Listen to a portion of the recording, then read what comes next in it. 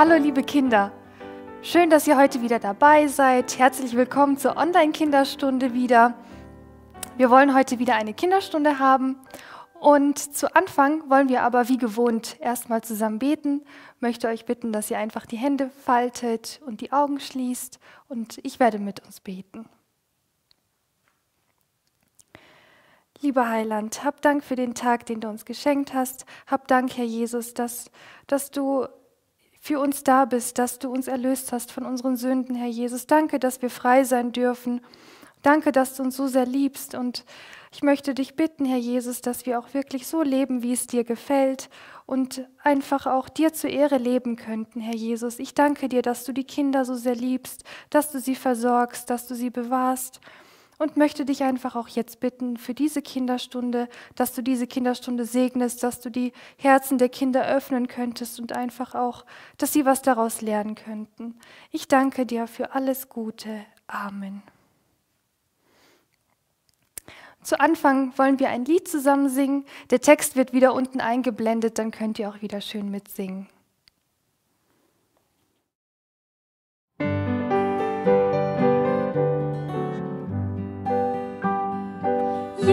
Heißt uns leuchten mit hellem Schein, wie ein kleines Lämpchen brennend klar und rein.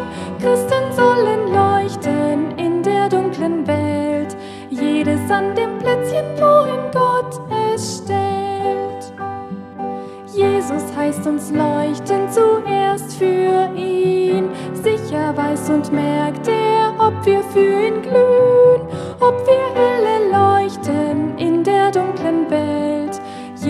an dem Plätzchen, wohin Gott es stellt.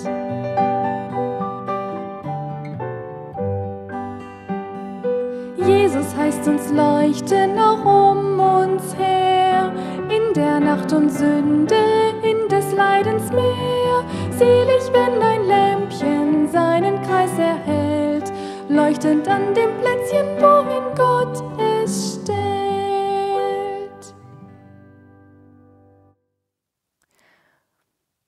Ja, in dem Lied, das wir gerade eben gesungen haben, da hieß es, dass wir für Jesus leuchten sollen.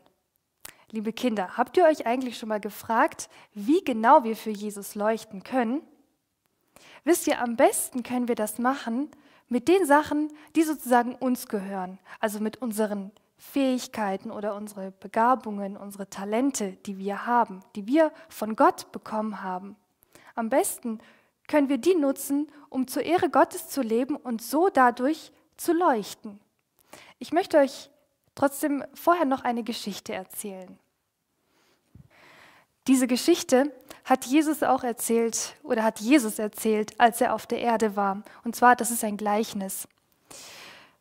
In diesem Gleichnis ging es um einen reichen Mann, um einen ähm, Kaufmann, der hatte ein großes Haus Ihm ging es sehr gut, er hatte sehr viel Geld. Ähm, er hatte eine ganze Kiste voller Geld. Er konnte sich sehr viel Geld machen, weil er nämlich verkaufte oder einkaufte und teurer verkaufte. Somit konnte er sich sehr viel Geld machen. Ja, und wenn man das Geld aufteilen würde in Säcke, so hatte er acht ganze Säcke voll. Irgendwann entschloss sich dieser Kaufmann, dieser reiche Mann, auf eine Reise zu gehen. Aber irgendjemand musste ja das Geld, musste ja mit seiner Arbeit weitermachen. Und so entschied er, dass es seine Arbeiter für ihn tun sollten. Er hatte nämlich drei Arbeiter gehabt. Und die rief er dann zu sich.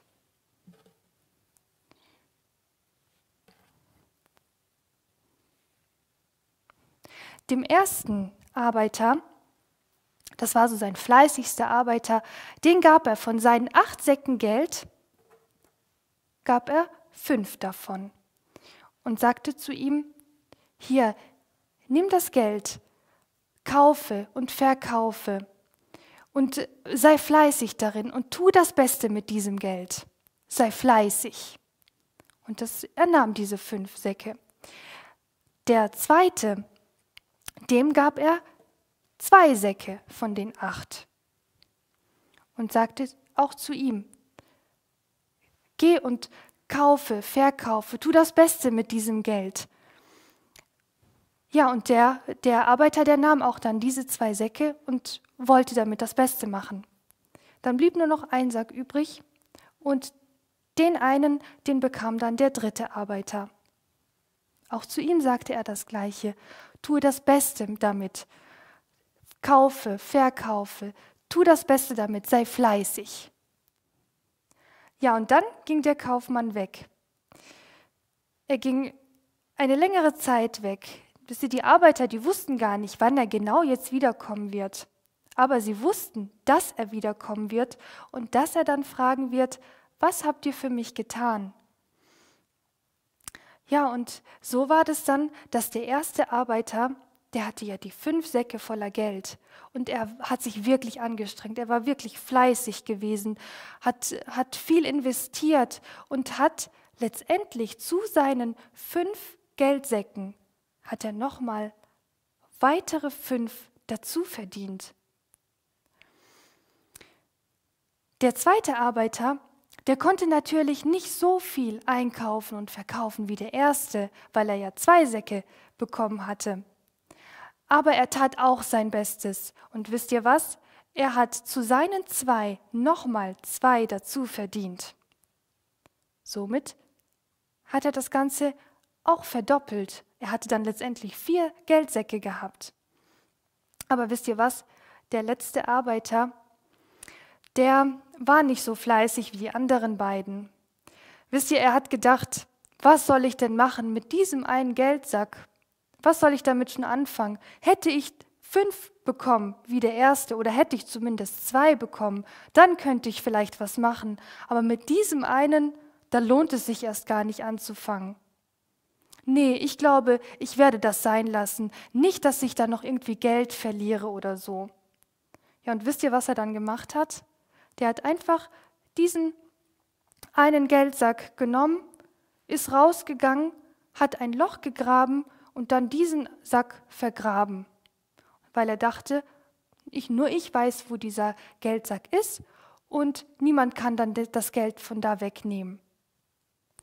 Ja, und dann kam der Kaufmann nach einer Zeit wieder. Und natürlich wollte er wissen, was seine Arbeiter die ganze Zeit über getan hatte, hatten. Und so rief er dann nacheinander seine Arbeiter zu sich. Als erstes den ersten, den fleißigsten, dem er fünf, fünf ähm, Säcke Geld gegeben hatte. Den rief er zu sich. Und der kam zu ihm und war ganz fröhlich und hat gesagt, guck mal, fünf Geldsäcke hast du mir gegeben. Und ich habe es verdoppelt. Ich habe weitere fünf Geldsäcke daraus bekommen. Und der Kaufmann, der war sehr zufrieden mit ihm. Er sagte zu ihm, du guter und treuer Arbeiter, du warst über wenig treu gewesen. Ich will dir noch mehr geben. Gehe hinein und feiere das Fest mit mir. Dann rief er den zweiten Arbeiter zu sich. Der zweite Arbeiter der war auch ganz fröhlich. Er sagte, guck mal, du hast mir zwei Geldsäcke gegeben und stellte sie hier hin. Und guck, ich habe zwei weitere Gewinn daraus gemacht. Also auch wieder verdoppelt. Und der Kaufmann, der war auch wieder ganz zufrieden mit ihm, genauso zufrieden wie mit dem ersten, sagte auch zu ihm, du guter und treuer Arbeiter, du warst über wenig treu gewesen, ich will dir noch mehr geben. Gehe rein und feiere das Fest mit mir. Und dann rief er den dritten Arbeiter zu sich. Ja, der dritte Arbeiter, der hatte ja nur diesen einen Geldsack, den hat er wieder rausgebuddelt und konnte nur diesen einen Geldsack hier vorweisen und gab ihm wieder. Aber wisst ihr was, er hat es gar nicht bereut der hat gesagt, ich wusste, dass du streng bist, ja, und deswegen wollte ich nicht das Geld irgendwie verlieren. Deshalb dachte ich, lasse ich es einfach so, wie es ist, dann kannst du mir ja nicht nachweisen, dass ich etwas falsch gemacht habe. Aber wisst ihr was, der Kaufmann, der konnte ihm wohl was sagen. Er sagte zu ihm, du böser und fauler Knecht, du wusstest doch, dass ich streng bin, wieso hast du dich nicht angestrengt? dann sagt er zu den anderen beiden, nehmt ihm sein, sein Geldsack und gebt ihm demjenigen, der diese zehn Geldsäcke hat. Er soll noch mehr bekommen. Und wisst ihr, diesen dritten Arbeiter, weil der so faul war, hatte ihn auch einfach aus seinem Dienst entlassen, weil er ihn nicht gebrauchen konnte. Dieses Gleichnis können wir auch mit uns vergleichen. Also diese Geldsäcke, das sind die Gaben, die Gott uns gegeben hat. Ja, so wie der Kaufmann diesen Arbeitern diese Geldsäcke gegeben hat, so hat auch Gott uns Gaben, Talente, Fähigkeiten gegeben, womit wir Gott ehren können. Jeder von euch hat etwas, was er besonders gut kann. Vielleicht ist jemand von euch auch sehr musikalisch, kann, ähm, kann gut ein Instrument spielen. Vielleicht, es muss ja nicht eine Geige sein, es kann auch ein Klavier sein, Akkordeon, Panflöte, Querflöte, Gitarre, ganz egal was. Auch wenn man das nicht, wer weiß, wie gut kann. Aber wenn man es macht, dann für Gott. Zu Gottes Ehre, weil dieses Talent, diese Fähigkeit von Gott kommt und wir sollen das Ganze nutzen, um Gott Ehre darzubringen mit unseren Talenten. Wisst ihr, ein ganz, ganz großer Komponist war Johann Sebastian Bach. Der hat ganz viele verschiedene Kompositionen geschrieben, ganz komplizierte Lieder. Aber wisst ihr was? Eins wusste er, dass er diese Fähigkeit nicht sich selbst zuzuschreiben hat, sondern dass er diese Fähigkeit von Gott bekommen hat. Und wisst ihr, was er tat? Er hat unter seinen Kompositionen drei kleine Buchstaben hingeschrieben. S, D, G. Das ist eine Abkürzung, das ist Latein und heißt Soli Deo Gloria und heißt nur allein Gott die Ehre. Er hat das begriffen, dass nicht von ihm aus das Talent kommt, sondern dass ihm jemand dieses Talent gegeben hat. Vielleicht malt jemand von euch ja ganz gerne, zeichnet oder sonst irgendwas, ist vielleicht kreativ. Aber wisst ihr, auch da für Gott. Alles für Gott. Oder hat jemand vielleicht von euch schon mal ein Bild gemalt? Und auch da ist es wichtig, für Gott das zu tun. Ja, inwiefern für Gott? Wisst ihr, man kann diese Fähigkeiten, die Gott uns gegeben hat, die kann man einfach dazu nutzen, um andere Menschen zu erfreuen. Zum Beispiel wie mit der Musik in der Gemeinde vorzuspielen oder auch zu Hause oder jemand anderes. Jemand ein Bild malen zum Beispiel, das bereitet auch vielen eine große Freude. Ich denke, eure Eltern zum Beispiel oder Großeltern, die freuen sich bestimmt sehr, wenn ihr Bilder malt. Oder gerade vielleicht die älteren Kinder, die schon in der Schule sind. Wie ist es mit den Zeugnissen? Auch das für Gott. Wenn ihr ein gutes Zeugnis bekommen habt, dann könnt ihr Gott dafür die Ehre geben. Ging es euch eigentlich auch schon so, dass ihr vor einer Arbeit gestanden seid und ihr hattet so das Gefühl, ihr hattet einfach Angst vor der Arbeit und ihr hattet das Gefühl irgendwie, ihr würdet das nicht schaffen können. Und ihr habt zu Gott gebetet und Gott hat euer Gebet erhört und ihr habt eine gute Note geschrieben. Aber wem sollen wir dafür danken? Uns selbst? Nein, Gott die Ehre, weil Gott geholfen hat, ja? Oder vielleicht, bestimmt singen viele von euch sehr, sehr gerne, aber wisst ihr auch da, alles für Gott, nicht für uns selbst. Und auch da können wir dann leuchten, indem wir das, was wir können, für Gott einsetzen, indem wir andere erfreuen, dadurch, dass wir zum Beispiel singen. Ja, jetzt sagt vielleicht jemand, ja, ich kann nicht singen, ich kann kein Instrument spielen oder ich kann auch nicht malen. Wisst ihr, es gibt aber noch andere Fähigkeiten, die wir haben. Wenn ihr diese Sachen vielleicht nicht könnt, vielleicht könnt ihr gut mit Zahlen umgehen. Vielleicht könnt ihr später dann äh, viele, vielen Leuten damit helfen. Oder ihr habt ja trotzdem alle Hände, Füße und auch einen Mund. Und mit den Händen könnt ihr anpacken, Mit den Füßen könnt ihr gehen, ihr könnt Leute besuchen, vielleicht jemand, der krank ist oder einfach Leute besuchen. Mit dem Mund könnt ihr auch sehr viele gute Dinge machen.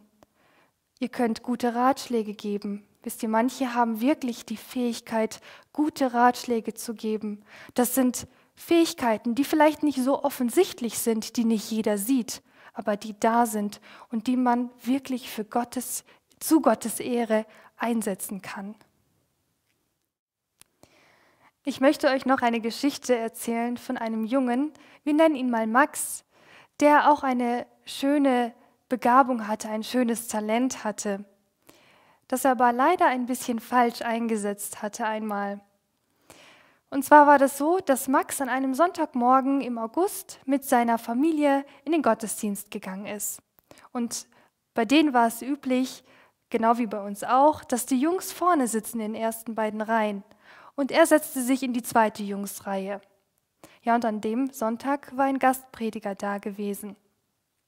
Und der predigte ziemlich lange und für die Kinder war das alles ein bisschen schwer zu verstehen auch. Und irgendwann hat man einfach gemerkt, dass schon die Jungs und die Mädchen, die vorne saßen, vor allem die Jungs, sehr unruhig wurden. Ja, und der Max, der langweilte sich auch ein bisschen. Ja, irgendwann holte er sein Taschentuch aus seiner Hosentasche und putzte sich erstmal ausgiebig seine Nase. Ja, irgendwann wusste er dann nicht mehr, was er machen sollte.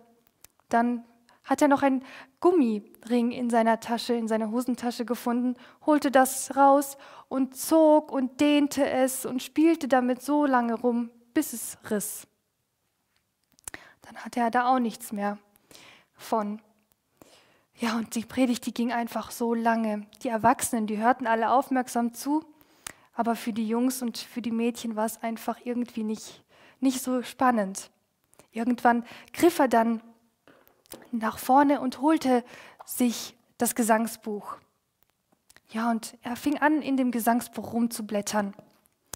Und irgendwann fiel dann ein weißes Blatt heraus. Das war das erste Blatt von dem Gesangsbuch. Und er dachte sich, oh schön, ich male so gerne. Und weil er eben so gerne malte, hatte er auch immer einen Bleistift dabei. Und er überlegte sich, hm, am liebsten male ich ja Menschen und Tiere. Tiere sind hier jetzt gerade nicht, aber Menschen. Ah, ich mal den Prediger. Und so guckte er sich den Prediger nochmal ganz genau an. Und schnell skizzierte er dann den Kopf des Predigers. Beim näheren Betrachten fiel ihm auf, der Prediger hat ziemlich große Ohren. Also malte er auf dem Bild extra große Ohren. Als er ihn dann weiter betrachtete, fiel ihm auf, dass seine Nase etwas lang war. Und dann zeichnete er auf seinem Bild die Nase extra lang und die Augen auch ganz komisch. Als er dann sich den Prediger weiter anguckte, stellte er fest, dass seine Vorderzähne ein bisschen hervorstanden. Und so zeichnete er ihn, zeichnete er ihn auf, diesem, auf seiner Zeichnung mit ganz, ganz schlimmen Zähnen. Plötzlich sagte der Prediger, so liebe Kinder, nun möchte ich euch auch noch eine Geschichte erzählen, damit, damit ihr euch auch was von dieser Predigt mitnehmen könnt. Und er fing dann an zu erzählen über eine Geschichte von einem verlorenen Sohn. Und der Max, der legte schnell dann sein Blatt Papier beiseite und hörte ganz aufmerksam zu. Das war auch ganz schön spannend gewesen, die Geschichte. Ja, und dann ging der Gottesdienst auch ziemlich schnell rum. Das Blatt Papier, das ließ er in dem Gesangsbuch drin. Dieser Prediger war ein Jugendfreund von Max Vater. Und so kam es dann, dass der Prediger eben zu Max nach Hause kam. Ja, und während sie so noch auf das Mittagessen warteten, zeigte der Vater dem Prediger die Wohnung, führte ihn einfach durch das Haus und auch in, durch den Garten. Und Max hatte auch ähm, hatte Meerschweinchen im Garten und zwar fünf. Ja, und der Prediger kam dann irgendwann zu Max und fragte ihn, na, sind das deine Freunde? Und dann sagte Max, ja, ich habe sie sehr gerne. Und der Prediger fragte ihn, wie heißen die denn? Und er zählte die Namen auf. Der eine heißt Bim, der andere heißt Bam, das ist die Tilly und das ist Fix und Fox. Oh, schön, du hast aber viel Freude mit den Tieren, meinte der Prediger. Ja, und dann meinte der, ähm, fragte der Prediger, Prediger ihn auch, ob er denn auch genauso viel Freude hätte in der Schule. Und so un unterhielten die sich ein bisschen über die Schule und Max stellte fest, dass dieser Prediger ein ganz, ganz sympathischer Mann war und er mochte ihn sehr, sehr gerne. Ja, dann wurde zum Essen gerufen. Nach dem Essen kamen noch andere Leute, um diesen Prediger zu begrüßen. Und so war es dann, dass irgendwann das ganze Wohnzimmer voller Leute war. Irgendwann meinte Max Vater, so, wir wollen zum Abschluss noch ein paar Lieder singen. Ich habe einige Gesangsbücher aus dem Gemeindehaus mitgebracht. Und er verteilte die Gesangsbücher. Da sah Max, als, ähm, als der Prediger das Buch, das Gesangsbuch aufschlug, wie er verwundert dann reinschaute. Und mit Erschrecken erkannte Max, dass das das Gesangsbuch war, wo er dieses Bild reingemalt hatte, wo dieses lose Blatt drin lag. Und der Prediger sah überrascht hinein und schaute dann zu Max hin, etwas verwundert, und steckte sich das Blatt in seine Jackentasche. Ihr könnt euch bestimmt vorstellen, wie es dem Max da gerade dann ging. Er wollte am liebsten raus aus dem Wohnzimmer, aber es ging nicht, weil so viele Leute da waren. Und sie sang dann seine Lieblingslieder, wie zum Beispiel Lass die Herzen immer fröhlich. Und er konnte aber überhaupt nicht freudig mitsingen. Es war ihm so unangenehm gewesen. Ja, nach dem Singen verabschiedeten sich die Leute dann nach und nach. Und so war es dann, dass Max und der Prediger irgendwann alleine im Wohnzimmer blieben. Max wollte das nicht so stehen lassen und er musste sich entschuldigen. Und sein Herz pochte ganz stark, als er dann zum Prediger ging und sagte ihm dann, es, es tut mir so leid, das mit dem Bild, das war Unrecht von mir, ich hätte sowas Hässliches nicht malen dürfen. Und der Prediger schmunzelte und sagte, die Ähnlichkeit ist verblüffend, du hast mich gut getroffen. Aber warum war das denn so Unrecht von dir? Na, weil sowas Hässliches darf man ja nicht malen und erst recht nicht in ein Gesangsbuch. Das ist doch ein Buch für Gott. Sowas darf man doch nicht machen. Und der Prediger sagte zu ihm, ja, ich glaube, du hast heute etwas Wichtiges gelernt, Max. Du hast ein ganz wunderbares Talent. Du kannst wunderschön zeichnen. Du kannst sehr, sehr schön malen. Aber weißt du, dieses Talent sollte man eben nur für das Gute benutzen. Man kann Talente für Gutes und für Schlechtes nutzen. Aber vor allem, wenn man im Hause Gottes ist, sollte man so etwas nicht machen. Man sollte sich so verhalten, dass Gott sich nicht schämen muss. Dann meinte Max, ja, das ist ja so, als ob man sich über Gott lustig machen würde. Dann meinte er, ja, genau, richtig. Weißt du, das mit dem Bild, das vergebe ich dir aber verhalte dich in Zukunft so, dass Gott sich deinetwegen nicht schämen muss und nutze dein Talent richtig. Ja, und so gingen sie dann auseinander und Max war sehr froh, dass er diese Sache in Ordnung bringen konnte, auch mit dem Prediger. Und Max hatte etwas ganz, ganz Wichtiges gelernt dadurch.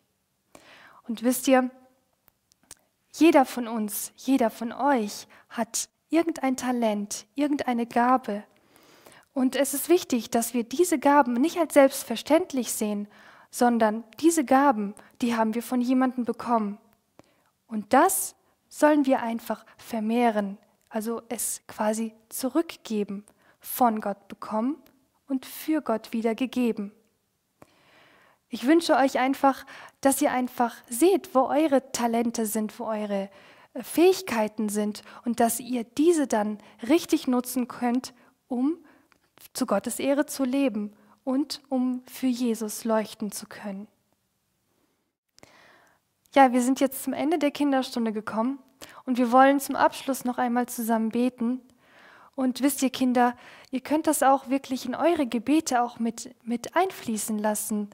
Wisst ihr, manche, die wissen vielleicht noch nicht so genau, wo genau sie vielleicht ihre Talente haben oder wo genau sie etwas machen können für Gott oder zu Gottes Ehre. Und wisst ihr, es ist manchmal auch so ein Entwicklungsprozess. Manchmal kommt das alles erst irgendwann, bis Gott einen darauf hinweist. Und aber wenn ihr auf der Suche seid nach etwas, was ihr für Gott tun könnt, dann könnt ihr dafür beten, dass Gott euch das zeigt. Und Gott wird es euch auf jeden Fall zeigen. Ja, wir wollen einfach noch, wie gesagt, jetzt zusammen beten. Schließt eure Augen wieder und faltet eure Hände und ich werde dann beten. Lieber Heiland, ich danke dir für diese Kinderstunde. Herr Jesus, ich danke dir, dass, dass wir für dich leben dürfen, Herr Jesus. Danke, dass du uns Gaben schenkst und Talente gibst. Danke, Herr Jesus, dass wir damit dann auch für dich leben können. Und ich möchte dich einfach bitten, dass du auch den Kindern hilfst, das zu erkennen und ihre Fähigkeiten zu erkennen, dass sie einfach auch das auch richtig einsetzen können und für dich einsetzen können, dass du sie so zum Segen setzen kannst und so auch leuchten können, dort, wo du sie hingestellt hast. Bitte segne die Kinder ganz besonders, bitte bewahre sie in dieser Zeit und ja, bitte bewahre uns auch hier weiterhin und ich bin dir dankbar für alles Gute. Amen.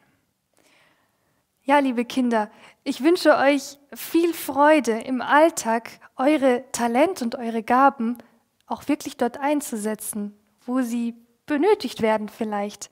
Wisst ihr was? Ihr könnt ja vielleicht mal auch so einen Zettel schreiben für Gott und mal überlegen zu Hause, wo könntet ihr das überall draufkleben? Wie gesagt, sei es vielleicht an eurem Instrument oder eure Schulmappe oder Bastelsachen oder Buntstifte, Malstifte. Oder ist jemand vielleicht auch technisch begabt? Dann könnt ihr das auch da draufkleben. Überlegt mal, wo ihr etwas wirklich zu Gottes Ehre tun könntet. Ja, ich wünsche euch auf jeden Fall viel Freude dabei und wir sehen uns beim nächsten Mal. Tschüss. Thank you.